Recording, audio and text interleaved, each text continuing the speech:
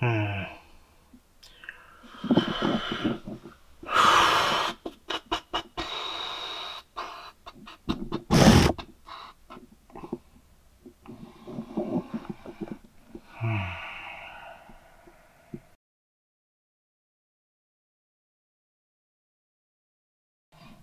Well, hello and welcome to uh, the underside of my Corolla. Yes, I'm looking at this for a couple of hours. I have no bloody clue how to install the Watts link on this car. There are a couple of issues. One is between the spare tire well and of course the diff there isn't a lot of room. So if I want to put the pivot on the axle then I probably won't have too much room. At least if I put it in the center. Also, I'm really not keen to weld that on the backside of the uh, axle. It has done before. They do it uh, with a lot of cars, but I rather not do that. If I can avoid it, then I will. What I could do is shift it to the right a little bit. So here we have a lot more room and I could, if I want to, put the pivot on the axle itself if I want it or if I have to. I could put it somewhere right here. It does make things a little bit more complicated because the pivot has to be uh, asymmetrical to compensate for the length difference, for the length difference of the rods. Um, it's all calculatable, but of course um, it is making stuff not easier. Did I do absolutely nothing? Uh, no. I made some plates that will fit right here. Of course I made one on the other side as well. But uh, these are just some spreading plates that I'm going to weld or bolt in. And I think I'm going to bolt it in first just because for some reason we have some gravity issues here. So I'm going to bolt that uh, in its place. Uh, something right here. And what I want to do is, for now, put a bar on top of that. So I have a brace uh, from, well, side to side. And I think that's the best thing what I can do now. Um, I'm just trying to find the pieces at a time and not want to, well, solve the whole puzzle in my mind. I think that's the best solution for now. So it can be, well, completely scrap because I'm not able to use it. What I want is uh, have the pivot from that brace hanging off here. Well, it's going to be a little bit more complicated than that, but uh, I wanted to have the pivot right here and adjustable, of course. And then the two uh, bars, I want to mount them to this brace and of course to the other brace as well. Well, that's the plan uh, at least. So let's uh, try to make this work. A panhard bar would be uh, much easier. Uh, the reason is I just make a little bit of a brace right here and just one bar to the other side and mount it right here and uh, well done. But of course we're not uh, going to do that. There's no fun in that. I like to challenge myself or even torture myself sometimes yeah, everybody has a uh, fetish, and this is mine.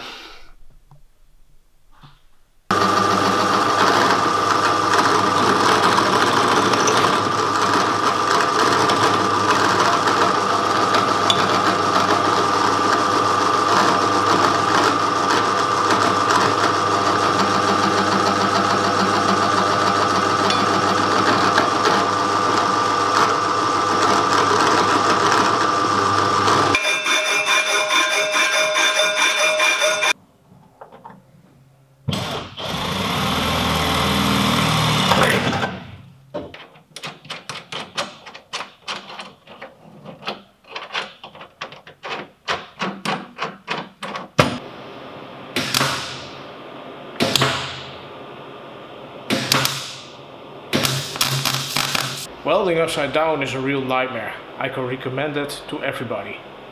Just for fun. Absolutely beautiful. I wish you could weld like this, don't you?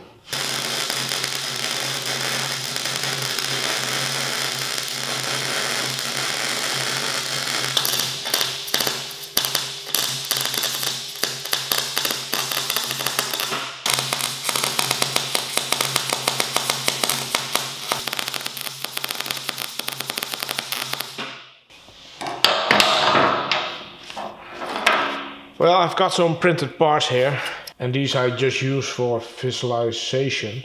This is of course the bell crank and it is the plate for adjustment. I thought I printed the right size but uh, it's definitely a bit off but uh, that's no really a problem. I can still use it as a mold. So uh, that's what we're going to do and of course this is just well larger scale testing for now these holes are going to be drilled out to 21.5 so they're going to overlap and that's going to be a bit of a challenge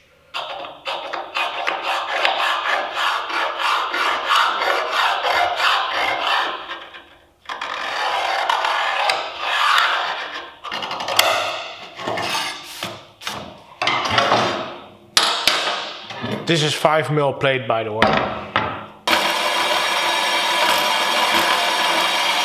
This 3D print is not as sturdy as uh, some other things I printed, but it has to do just one job. So hopefully that's enough and it's in the center. That's also a good thing to have. And now it's uh, right in the center. But I do think I need to punch one or two, well, at least two more downwards. Yeah, two downwards. I think then we have definitely enough adjustment space. We can better have a little bit more adjustment than a little bit less.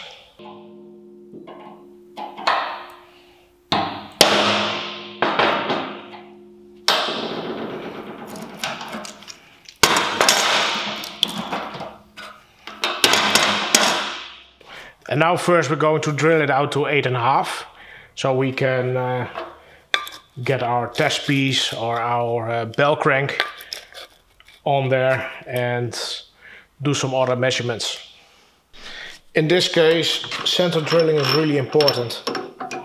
Maybe I'm going to use um, a step drill. Most of the time the holes are just a little bit more round. But most of the time also a step drill cannot get into 5 mil plate.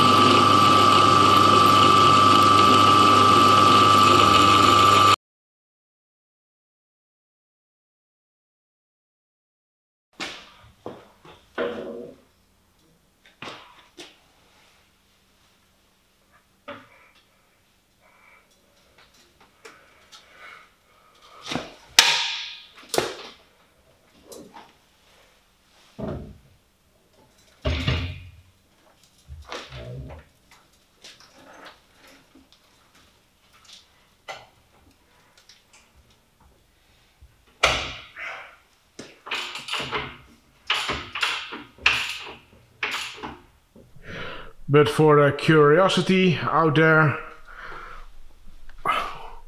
we have a little patch right here and uh, also on the other side. So that's something uh, I want to address and uh, got some really weird marks here. And I already looked if it was from my stance, but my stance were located here So those are these marks and of course this is just the, the coating but these are dents. Not that it's that big of a problem but uh, I think we can uh, take that out and here is also a little spot. But other than that it's not too shabby. Well here are our boxes. I can also weld those in uh, proper and of course a lot easier uh, than underneath the car. It's just no fun welding underneath the car. But yeah, this is uh, what we're working on right now. But to be really honest, I really wish I had one of these a lot sooner than I have now. But yeah, first things first, the Wattslink. It is a while ago that I worked on the Wattslink. And of course, uh, the, one of the biggest reasons is I wanted to build a rotisserie first. I just was so sick of it, working underneath it, clamping stuff and stuff falling and, and it was just, well, it was just no fun. I just hadn't any fun working on the car. And uh, that's really a bad spot to, uh, to be in. So that is why I chose to build the rotisserie. And to be honest, I'm really glad I have. It's going to be perfect? Ah, I don't think so. We're definitely going to struggle with the Wattslink. Uh, whenever I had done it on the ground or like this, there is just a lot of, well, dry fitting, refitting and stuff like that. So, like I said before, it is a while uh, that I uh, touched this and I found out that not everything that I had done to the Wattslink I have recorded. So I'm going to make a really of a bit of a recap what I've done. Well, the last scene you have seen me drill this thing. That thing, if I remember correctly,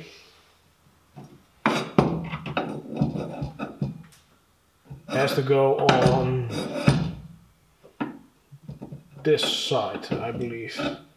In the center of the car. Yeah, I know, it's really encouraging when I say I believe.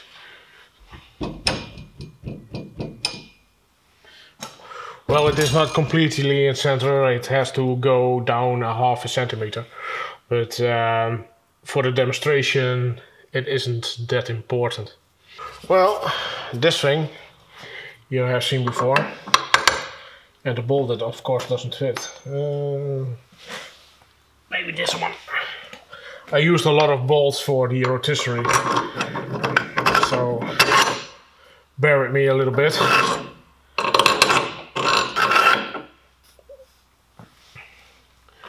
Or did I flip it the other way around? I do believe I had it the other way around.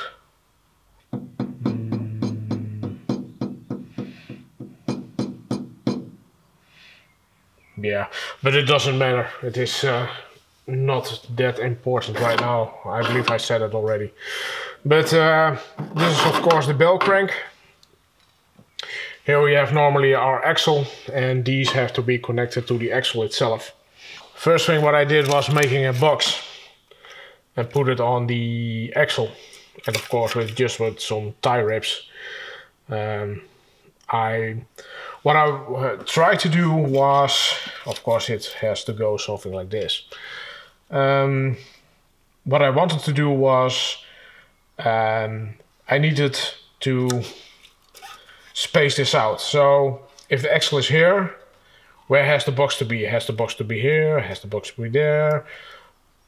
So forth and so forth.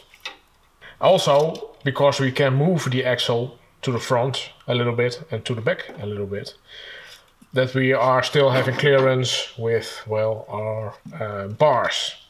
So that was the first thing I needed to figure out. So that is why I printed this box. I printed also a other box. And this box is uh, coming on the um, on the axle. Like so. Of course it's just a, well, not solid of course, but just for measuring. So and when I figured it out what the uh, distance has to be. I made something a little bit more elegant. And also a uh, upgraded bell crank.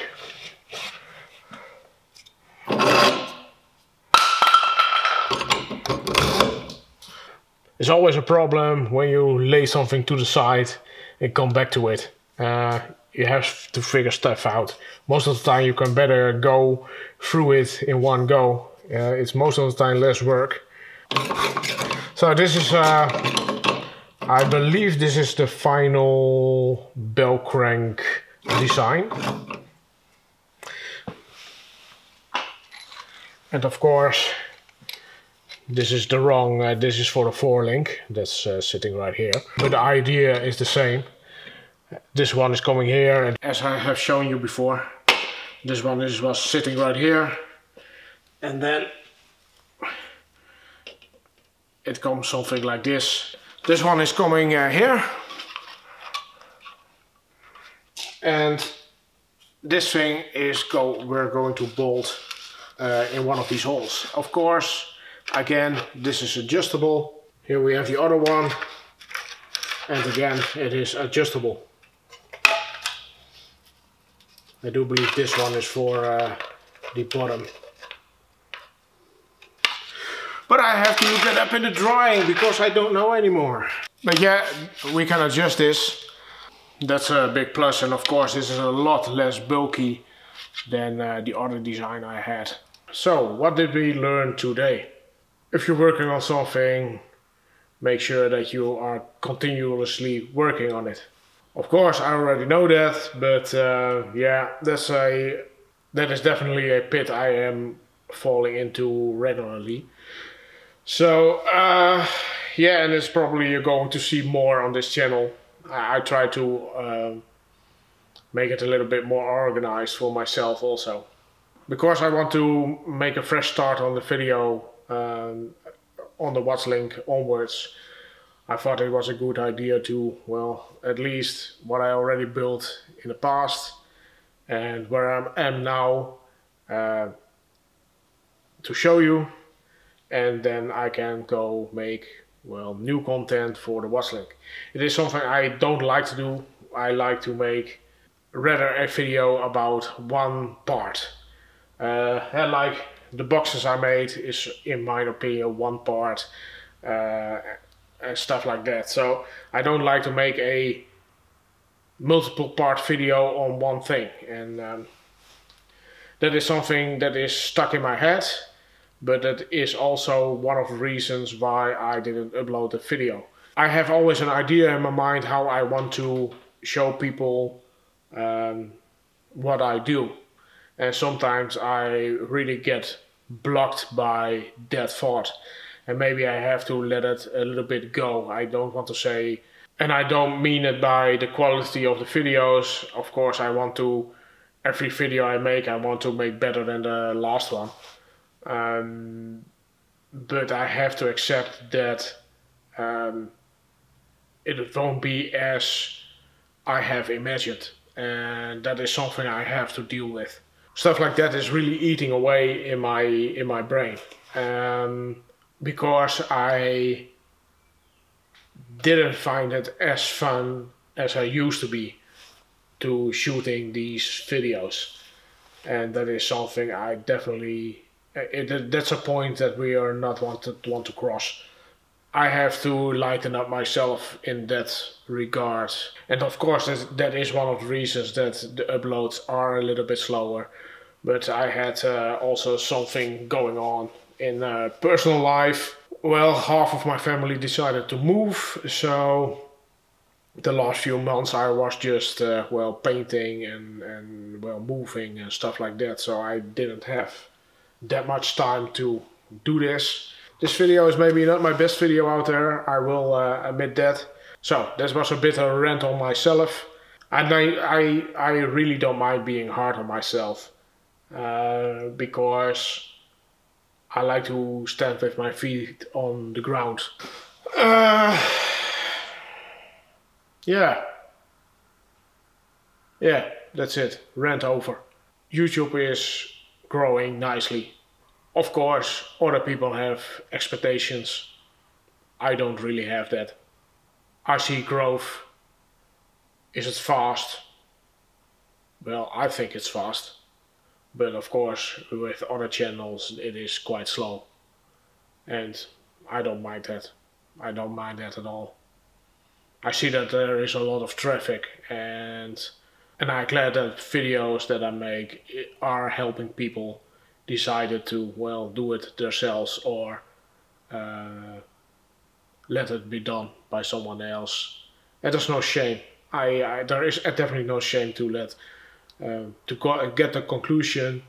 I can applaud that that people say this is not for me. Also, some of my videos uh, people can see why uh, a garage is well asking so much money because some things are taking a long time. The last video I did, the EGT uh, the EGT sensor from the Polo from Robin. Uh, Robin and I did it in uh, well three days. Let's say 15 hours. I think we spent 15 hours on shooting uh, and um, with that video. 15 hours is a long time for working on well that EG, EGR valve. But it's not only that. After the 15 hours I at least at least spent 15 to 20 hours editing it editing that video. So you guys see a video um, a 35 minute video. Uh, but for me it is uh, 30 to 40 hours of work. And I have to do that, of course, in my spare time. Uh, it is not my daily job. It's probably never going to be my daily job. Uh, do I want it to be my daily job? I don't know. I, I don't know. I do like it as a hobby for now. L let's say that uh, with YouTube I can get the same money as I do now would I do it? I don't think so. I don't think so. And people say doing stuff that you love, then it isn't work and it is, it is a hobby. Well, those people are full of shit. That's definitely that. Because if you are day in, day out in the stuff that you love to do, it helps. It helps definitely that you do stuff that you love to do, but still it is work. At the end of the day, uh, it comes through your nose and you're done with it. Um, and I don't know if I want that, uh, but we're definitely not there. The money I made on YouTube, uh, well, I already spent on uh, camera equipment, lights, and, and uh, other stuff like that. So, except for the experience doing this, I have nothing to gain uh, from it. So, yeah, I have a camera, but yeah, that I use for YouTube. I'm not really a photographer or something like that. Hopefully the next video will be a lot better. But uh, that's it for today's video and I hope you enjoyed it or at least learned something from it. And if you did, please give it a like. If you want to follow me around, you know what to do. And uh, I will see you next time. Bye.